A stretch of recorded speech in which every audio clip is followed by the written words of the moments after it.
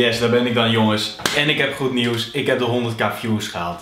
Het is de laatste tijd enorm gestegen. Ehm, ik heb er wel vijf jaar over gedaan natuurlijk. En dat heeft ook een bepaalde reden. Ik wilde nooit meegaan met de hype. Dus ik heb één keer een challenge video opgenomen. Dat was een 10k challenge.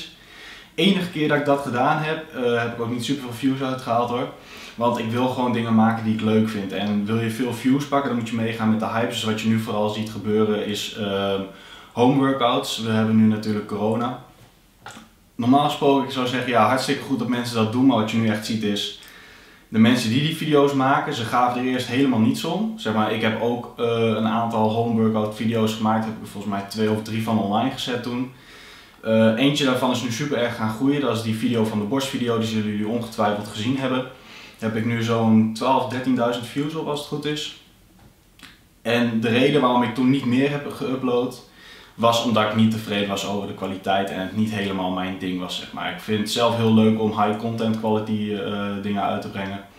Dus wat ik daarmee bedoel is gewoon goede motivatievideo's. Alles moet qua beeld uh, en audio moet het helemaal top zijn afgestemd op elkaar. Moet er echt haarfijn uitzien. En dat was het gewoon niet met die video's. Daarnaast vind ik het ook leuk om gewoon heel veel gewicht te drukken en dat soort video's ook te maken dan die daarover gaan. En niet zozeer de video's van wat je kan doen met thuis trainen. Of vond ik die borstvideo bijvoorbeeld wel weer een leuke video. En uh, dat heeft ook toe geleid dat ik heb besloten om het nu niet weer te gaan doen. Dat soort video's online gooien. Ook al zou het nu hartstikke veel opleveren natuurlijk uh, qua weergave aantallen. Besloten om het niet te doen. Ik wil natuurlijk gewoon dezelfde kwaliteit blijven leveren aan jullie. Wat je nu wel ziet gebeuren is dat heel veel mensen die video's online gaan gooien. En dan kunnen we kijken naar de grote spelers, maar bijvoorbeeld ook naar de kleine spelers. En die gaan echt het corona nu een soort van uitmelken om groter te worden op social media. En dat vind ik echt iets, ja, ik vind het een beetje raar om uit een pandemie daar je weergave proberen te halen. Dus gaven er eerst nooit wat om, doen het nu allemaal. Allemaal schapengedrag, een beetje kuddedieren, dus ja, weet niet, ik voel het zelf niet zo. De content die ik zelf wil maken, ja, dat is dus content zoals dit.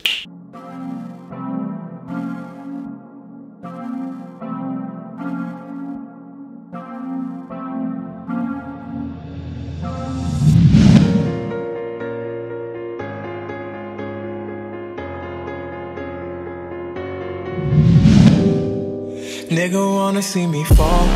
Stephen Curry, how I ball. Gosha garments and a white three on my body. I'm an icon, man. And my girl about it. I come and see you, now no hesitation. Yeah, I'm really, really tired of being patient. Hey, if you won't give it to me, I'ma take it.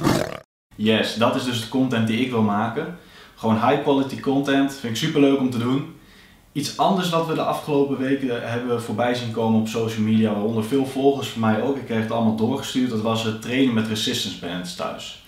Principe is natuurlijk super mooi, um, vooral je kan die dingen gewoon bij de Action kopen bijvoorbeeld, kost een paar euro, echt kost bijna niets daar.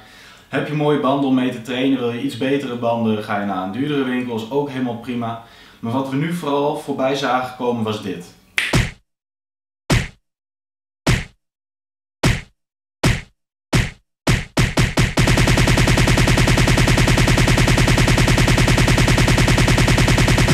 Zoals jullie allemaal konden zien, superveel bedrijven en influencers die dit product aanbieden. Gaat allemaal naar hun eigen webshop uh, toe, de linkjes als je ze zou openen.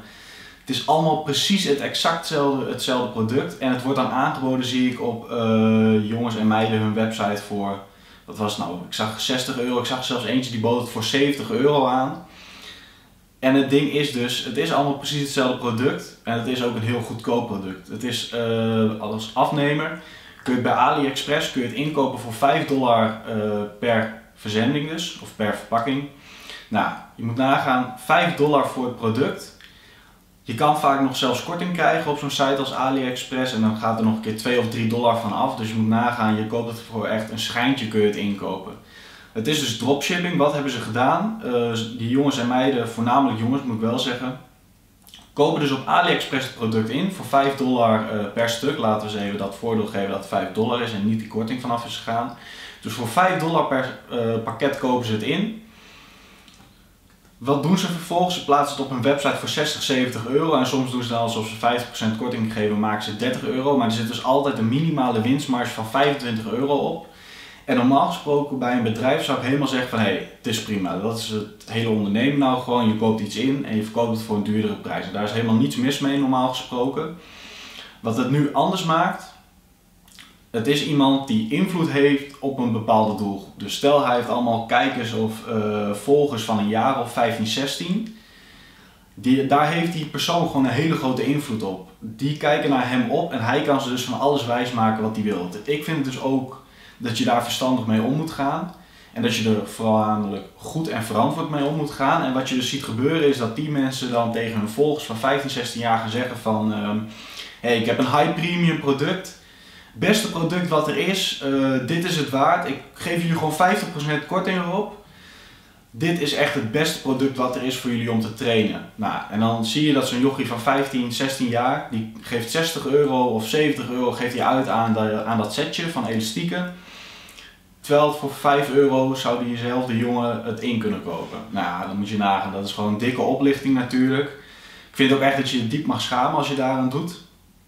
En laten we ook even een voorbeeldje erbij pakken, want ik heb ook dingen gekeken. Even kijken. Nou, als ik het voorlees, misschien kennen jullie de jongen dan wel. Oké, ik heb de website er even bij gepakt.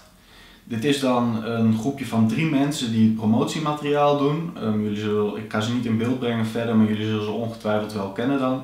Of in ieder geval één van de drie. Um, we gaan even naar het stukje over ons en dit is wat er op de website wordt gezegd. Ons verhaal begon in 2020, toen de reis van een man genaamd Joel begon.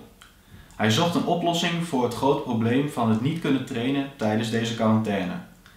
Dagenlang kon hij niet goed trainen en kwam hij erachter dat hij niet de enige was die niet kon, niet kon trainen tijdens deze quarantaine. En nee, dit is geen editfout van mij, dit staat zo letterlijk zo fout erin.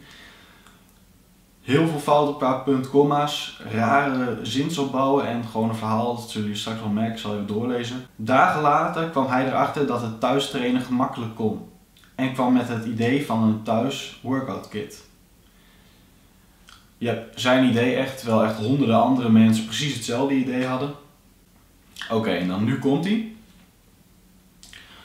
We hopen dat we een grote bijdrage kunnen leveren aan het vermogen van mensen om in de loop van de dag steeds weer te rusten door middel van hun thuis gym workout kit. Punt. En ook gelukkige relaties. We wensen u een gezonde tijd toe. Ja, laten we even eerlijk zijn jongens, die tekst slaat dus al helemaal nergens op. what the fuck. Hoe kan jouw product het vermogen van de mens vergroten om steeds in de loop van de dag weer te kunnen rusten? Daar klopt toch helemaal niets van, of wel? En gelukkige relaties. Nou, we kunnen allemaal wel stellen dat het dus gewoon allemaal bullshit is. Het product werkt natuurlijk gewoon bestel hem dan wel via AliExpress en ga niet zorgen dat dit soort mensen er wat uit kunnen halen. Want dit slaat natuurlijk alles, de tekst klopt niet. Ik adviseer eigenlijk mensen om opnieuw naar school te gaan als je dit soort teksten maakt. We kunnen wel zeggen dat het dikke bullshit is. Maar dan gaan we nu door naar het leukere gedeelte van de video. Ik ga straks nog even trainen, mijn borst. Ik ben uh, aan bulken. Ik ben ook alweer aangekomen gelukkig. Ik heb heel veel moeite gehad om weer in de 90 kilo te worden was natuurlijk die kracht verloren. Nou, ik heb inmiddels beweeg ik 91 kilo. Ik heb mijn vetpercentage iets kunnen verhogen. Voel me er lekker bij, dus dat is helemaal top. Um, gewichten gaan ook eindelijk weer de goede kant op. ga straks even goed trainen, borst trainen. Met de content die ik vertel dat ik wilde maken. Jullie gaan gewoon wat shots ervan zien. Um, ik ga op massa trainen, dus wat massa in de borst, want ik vind wel dat mijn borst aan de platte kant is geworden en ik wil hem weer mooi rond zien te krijgen, dus dat ga ik doen. Dus hey jongens, Laten we beginnen.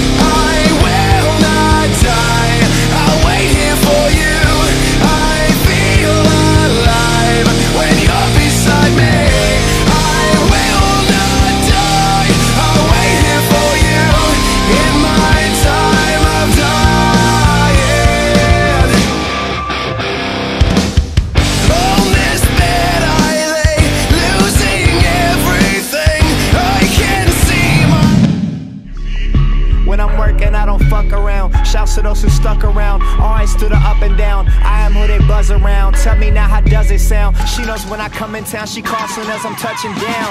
Yeah, that was the day it all changed. Shit just got real, now they're looking all strange. No longer on a small stage. Never looking back so far beyond y'all's range.